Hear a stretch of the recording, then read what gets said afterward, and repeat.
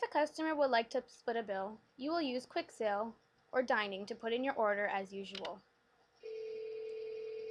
You will click on the items or scan the items if you are on retail version to add them to the order. You will then click on Confirm Order if you have a kitchen printer to send the order to the kitchen and click on OK. You will now complete your order. Instead of clicking on Payment, you will click on Split Bill. You will now have the option to split the bill by the item, by the amount, or equally. I'm going to split it by the amount.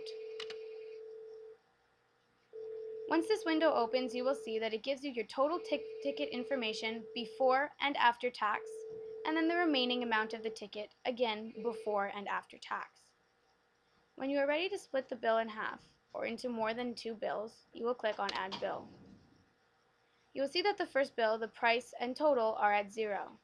To change this, you will click in the correct column under Total and put in the amount that the first customer or the first method will be paying. I'm going to put in $15. You will now see that $15 total has been taken off of the total of the remaining amount. I will now continue to create another bill and put in the remaining amount of the bill. You will now see that the total has gone down to zero.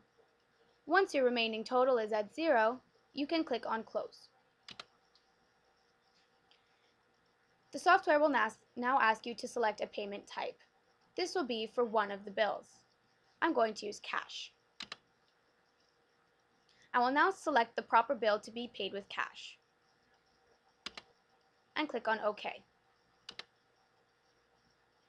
You will now enter the amount that the customer has given you. If you click on Exact, you will see that the tended amount goes to the amount only of the first bill and not of the total bill.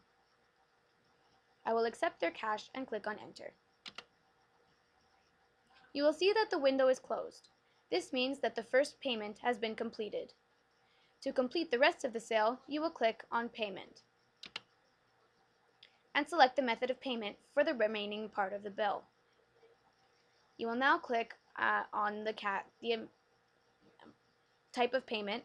I'm going to use credit card. If you click on exact, you will see that only the remaining amount is the same amount of the second bill, and this is what will be paid. When you click on enter, the window will be closed and your payment has been completed.